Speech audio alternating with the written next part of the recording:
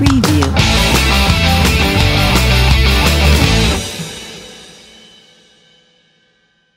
Bardzo serdecznie chciałbym Państwa powitać na naszej wspaniałej wystawie.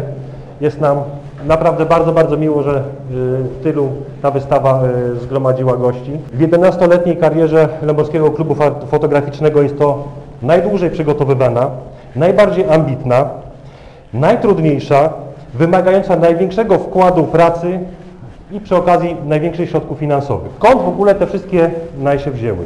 E, Przygotowując wystawę w technice cyfrowej, mamy ten wspaniały komfort, że siedząc w domu, w ręce leżąc sobie wygodnie na kanapie, z napojem chłodzącym obok, komputerem na kolanach, kilka suwaczków prawo, w lewo, zdjęcie gotowe, wyślij, drukuj, przychodzimy, tutaj kleimy, wystawa zrobiona.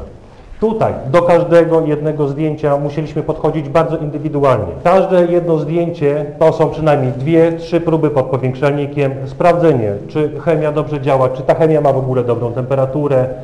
Yy, Już nie wspomnę o procesie wywoływania negatywu, który musi przebiegnąć yy, w idealnej wręcz ciemni, gdzie samo wywołanie jest bardzo dużą taką niespodzianką, bo człowiek do ostatniego momentu musi wszystko to trzymać w szczelnie zamkniętej puszce. Dopiero można wywołać, kiedy już jest koniec i jest niespodzianka. Wyszło, nie wyszło. Tak samo już same y, kopie pozytywowe, kiedy trzeba dopilnować reżimów temperatury, czy chemia dobrze pracuje, jak to nazywamy. Przygotowanie jednego zdjęcia, nawet kiedy szło wszystko idealnie, to jest około pół godziny pracy. Tak więc przygotowanie tej ilości, no to są Siedzieliśmy tutaj no, bardzo długo, kilkanaście nocy w zarwanych, y, w rodziny się co, nie, co niektórych dosyć mocno pogniewały. Co jeszcze chciałem y, wspomnieć o tych zdjęciach? Poza ich indywidualnością staraliśmy się także na tych zdjęciach podka, podkre, pokazać różnorodność pracy analogowej.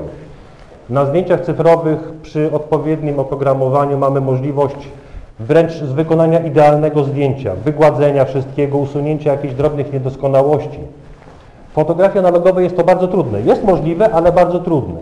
Na niektórych robiliśmy wręcz wszystko, żeby te błędy fotografii analogowej ukazać. Yy, Ziarnistość negatywu, jakieś yy, paprochy, śmieci, drobiazgi, które gdzieś tam wpadną w powiększalniku, plamy na negatywach, na pozytywach, odciski palców nawet się zdarzają. Na niektórych zdjęciach jest to specjalnie zrobione, żeby pokazać, że yy, fotografia analogowa, która ma już lat yy, 150, jeżeli dobrze pamiętam, yy, obarczona była takimi nie innymi błędami.